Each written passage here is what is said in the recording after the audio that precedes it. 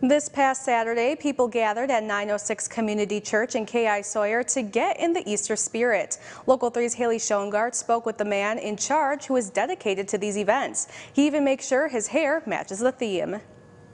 Go get the eggs! For many children on Easter weekend, there is no greater joy than an Easter egg hunt.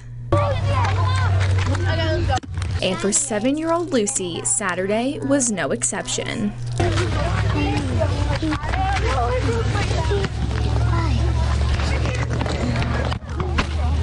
Those smiles wouldn't be possible if it wasn't for people like Ryan Lipinski. I uh, do a lot of programs for the community.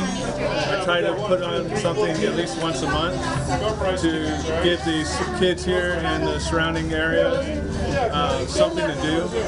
And uh, they don't have a whole lot of access to, to go to Marquette and all that other stuff. So bringing events here to the, uh, to the neighborhood directly means that the kids can actually walk to the event. Lipinski is so dedicated to these events, he even ensures his hair and car are all decked out to match the theme. Once a month, about every month, month and a half, my hairstyle changes for the last like 15 years. Shannon Kopanen and many other members of the community recognize the care Lipinski has for the people within that community.